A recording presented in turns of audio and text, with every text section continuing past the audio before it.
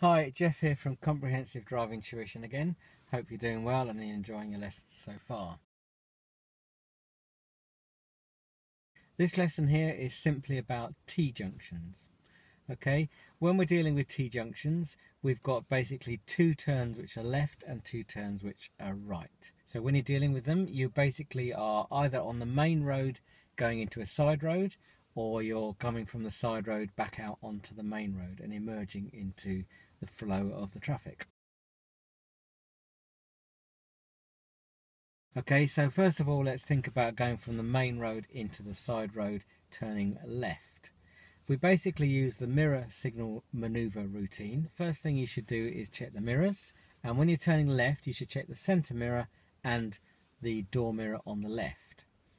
Okay, so once you've done that, you can then signal the down for left. You push that down for left, uh, and then you're approaching the junction by slowing down, uh, keeping your road position not too near the curb but not too far out in the middle of the road. Okay, um, reducing your speed by use of the brake pedal, uh, and then pushing the clutch down and going into second gear. You should be then arriving at the junction, and before you uh, turn the corner, you should bring the clutch pedal back up to maybe the biting point and just a little bit higher and then go around, steer around the corner. Takes about half a turn to three quarters of a turn to get around the corner. Uh, and then once you're around the corner, you have a look up the road, and if it's safe to carry on, you press the gas pedal. That's the basics. There's obviously you've got to watch out for pedestrians crossing the road and whether they're going to stop uh, to wait for you or whether they haven't seen you coming. So there's various other things. There might be parked cars in the way. There's lots of little varieties, but that's the basics.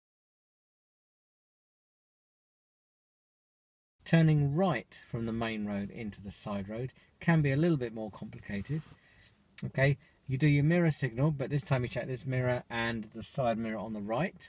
You signal up for right, and you road position your car near the centre line. Takes a bit of practice, but we'll get there. And so you've got to be near that centre line and follow what that centre line does. If you look down at the centre line, you probably won't get it so good as if you look ahead. And also by looking ahead, you can see whether there's any cars coming towards you which you may need to give way to. Okay, so if there's nothing coming towards you, we'll slow down and go into second gear again. And just before we turn into the side road, we'll obviously look for pedestrians crossing the road. But if it's safe, we'll bring the clutch up, steer around the corner, and again, put the gas on afterwards if we actually need it, depending on what's going on down the road. Okay, there, there's a lot of varieties of this, and I'm going to show, there's other videos which I'm going to show you me actually driving and talking about those situations whilst we're on the move. When you're coming uh, along the road and you're going to have to come to the end of the road where the give way markings are, the two dotted white lines, uh, those situations are different because obviously we're the ones who've got to give way to the traffic on the main road. So you're going from a side road emerging out onto a main road. Okay, now the basic rule of thumb is you do the mirror signal maneuver. So you check your mirror if you're going to do left, you check mirror signal left and use your door mirror as well, signal down for left. And then you approach by slowing down with your foot over the brake. And just before you get there, maybe two, three car lengths beforehand, you want to put the clutch down on the floor, but keep using the brake to regulate your speed.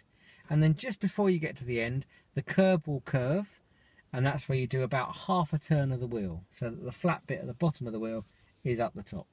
Okay, first of all, when we come to the end of the road, we're just going to go up there and stop and then worry about everything else when we get there. So you get your good road position. That's for turning left. Okay, if when you come up to the end of the road, you're turning right, you do your center mirror, your door mirror, you signal up for right, and again you position yourself down the middle of the road where the white hazard warning lines are. Try and get yourself as close to those lines as possible and keep your car nice and dead straight, following what those lines do okay?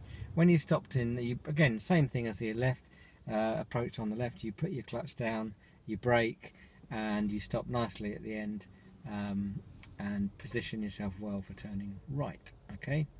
Once we've stopped at the end of the road it's then prepare observe go. So whichever way you're going left or right you put it into first gear. You then look right left and right that's the bare minimum Okay, so every T-junction you must do that. You must look right first of all, then left, then right again. And the first time you look, it's generally just a, a rough idea, let's see what's going on, rather than actually making a decision to go.